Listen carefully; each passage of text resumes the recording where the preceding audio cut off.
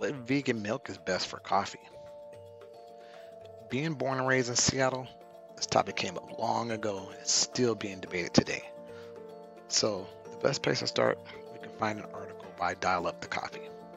In there, they mentioned that the best vegan milk for coffee, vegan milk is uh, completely dairy free, meaning it doesn't originate from any animal, it doesn't contain any animal product. Instead, vegan milk is made variety of beans, nuts, seeds, and grains. Common sources for vegan milk are almonds, cashews, soy, flax, oats, as we've seen in a recent Super Bowl, rice, coconuts, and peas.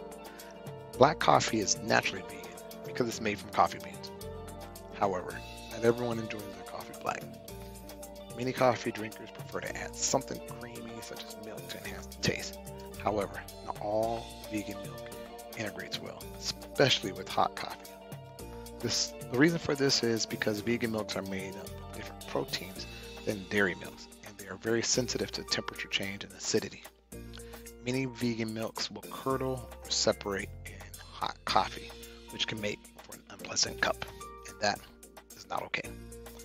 Follow the links below and find the perfect milk for you.